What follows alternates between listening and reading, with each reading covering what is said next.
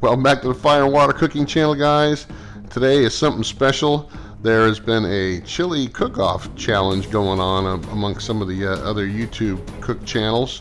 So I'm going to go ahead and throw my hat in the ring. Uh, just so happens that I did a uh, uh, chuck roast video where I did two different chuck roasts, one season before sous vide and one not and actually had some extra chuck roast left and I'm going to use the chuck roast meat that I sous vide in the chili. So I'll be back. I'm going to show you what I'm going to do to make a nice chuck roast chili on the Kamado Joe Classic 2 I'll be right back guys.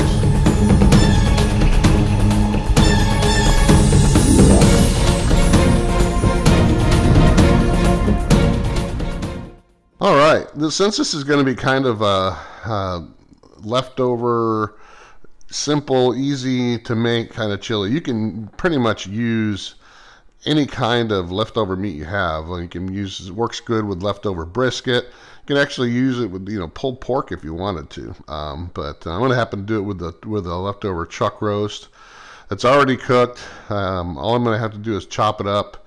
And first thing I'm going to do though is I'm going to chop up my vegetables first. And I'm going to use it's going to be really simple, nothing exotic. Uh, just so happened that the uh, different colored peppers were on sale this week at Sprouts. So I had my wife get a couple of different colors. So we're going to use green, yellow, orange, red, and then an onion. And that's pretty much it as far as vegetables go. Um, I'm going to use a little bit of fresh garlic too, I guess. But um, as far as seasoning goes, I'm going to keep it real simple, and everything else is going to come out of cans. So I'm going to have a couple cans of Rotel. I'm going to put beans in this chili. So unlike some of the Texas guys, you know, where they fight against beans, I'm going to do a can of kidney beans and a can of black beans. So I have two different kinds of beans. Some extra tomato, diced tomato. Um, simple seasonings today. It's going to be chili powder, cayenne pepper, some... Uh, a little bit more granulated garlic, salt, maybe some regular pepper, and cumin. So real simple seasonings. I'm going to put everything down below. So just make sure you uh, write that recipe down, follow it. I'll be back. I'm not going to show you guys when I'm chopping up these vegetables. We're going to pretty much, when we take it out on the grill, everything's going to be chopped up and ready to go. And we're just going to throw it all in the pot and cook it on the Kamado Joe Classic 2 for, you know, hour or so. It won't take very long at all. All right, I'll be back after I chop up all these vegetables and get everything ready. Yeah, I didn't want to bore you with chopping up all the vegetables in front of you, but what I wanted to show you was uh, I didn't use all of every pepper, and I'm not using a whole onion. We only got about uh, two and a half pounds of the chuck roast, so we're not making a big, huge um, pot of chili. So what I did, is I'm taking about a quarter of each pepper, and this is a rather decent sized onion. I'm taking about half.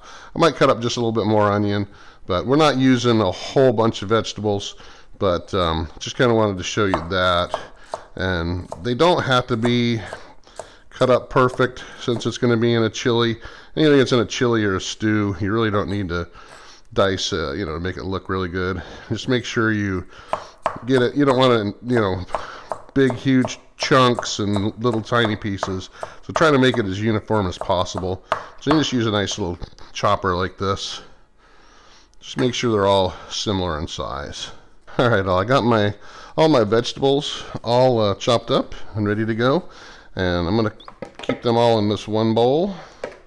And like I said, we're gonna, when we get them on the grill, we're gonna sweat them down first before we add the meat, because the meat's already cooked. Once we get the meat in there, we're going to let that mix in with the vegetables a little bit, and then we'll start adding our canned stuff in. But I'm going to go ahead and get this cut up, and we're going to cut this up into smaller chunks because this is chili. So I'm going to kind of make it into, you know, little chunks like this. Kind of like you would with brisket chili. Um, I don't want it to be ground beef size, but I just do want it to be smaller. So smaller than a beef stew. Um, just so that we can have a nice texture to it. So that's what I'm going to do. I'm going to cut it up into little little cubes and then we're going to get ready to throw everything on the grill in a few. I'll be back.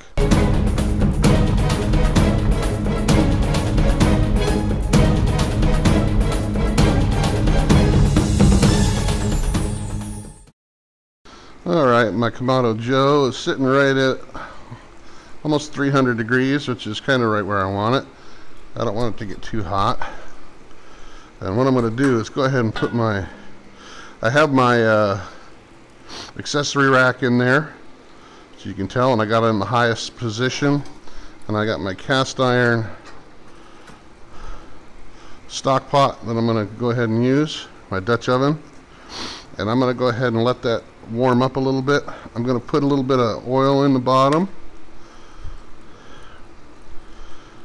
That way I'll know when it's warm enough to uh, put my veggies in.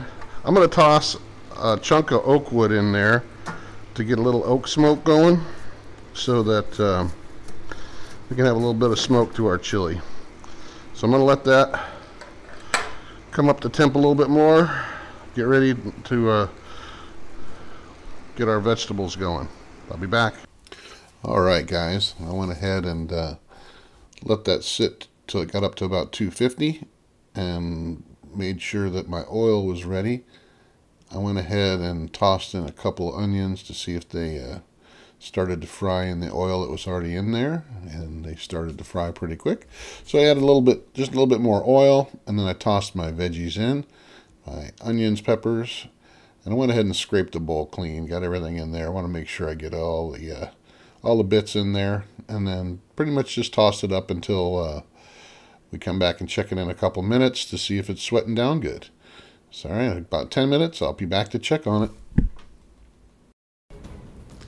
Alright guys, after about 10 minutes I went back to look at my vegetables and they were actually pretty good. So I gave them a nice quick stir and then I went ahead and uh, took my seasoning blend, you can see down below in the comments, um, and I added that into the vegetables so it could get uh, cooked into the vegetables really good. Uh, this actually turned out to be a really good uh, um, seasoning uh, amount, so make sure you take a look at it down below.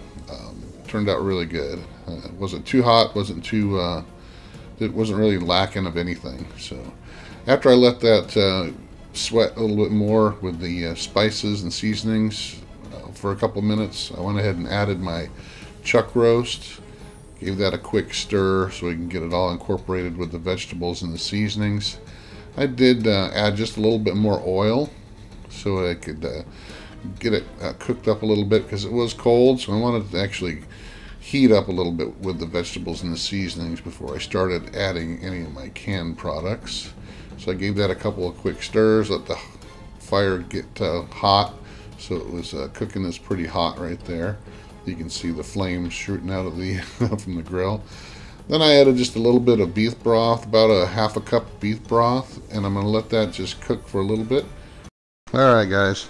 I got my vents turned down pretty much all the way now. So I want this to start cooling down because it's already got these all sweated down really good. The meat's heated up really well and incorporated into the seasonings and the beef stocks in there. So now I'm going to add, I got two cans of Rotel, one can of uh, regular diced tomatoes, a can of red kidney beans, and a can of black beans. That's all just going to go right in the mixture. We're going to mix it up really good with that meat and vegetables. Look how that's looking right there. Smells good. And now